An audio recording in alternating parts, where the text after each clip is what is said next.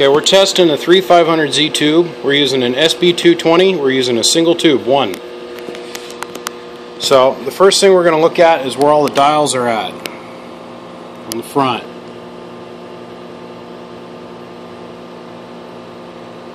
And we're doing that for a documentation reason. Make sure nobody's fooling nothing here. We'll go ahead and probe the plate volts.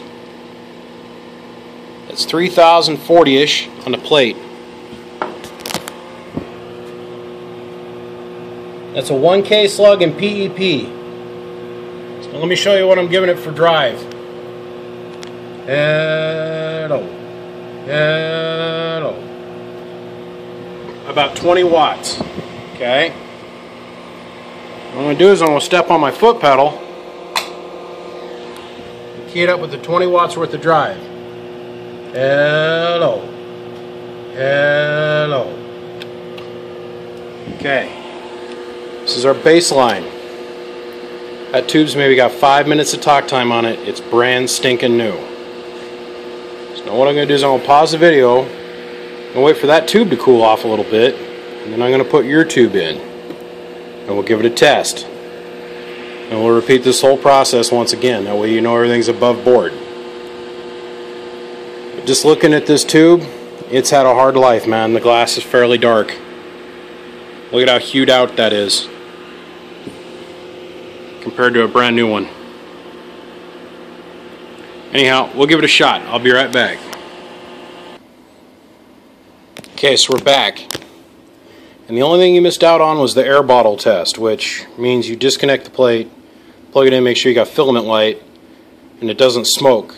What'll happen is these things will lose their vacuum.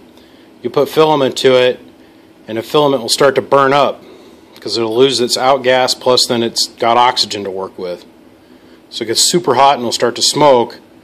And guys will go ahead and they'll test these and they'll have the plate attached, and you got a high voltage present on the tube and it'll cause it to arc and will damage your box. So we skipped that test. I don't have a video for that. I did do it. This is not an air bottle. This is a fully functional tube. So let's go ahead and fire it up.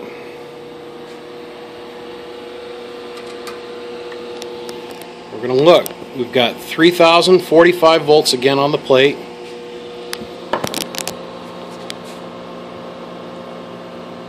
Both the plate and the tune knobs are in the same position. Band switch is in the same position.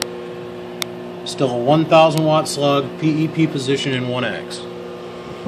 Okay, so now I'm going to demonstrate to you once again the drive to make sure that hasn't changed. Hello. Hello. Same amount of drive. Stepping on the pedal. Hello. Hello. Hello. Nothing's changed.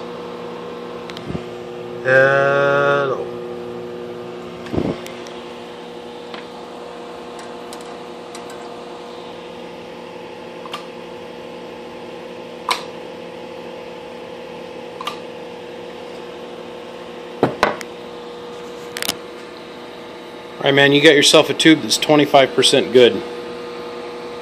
There you go. Bump bump BBI.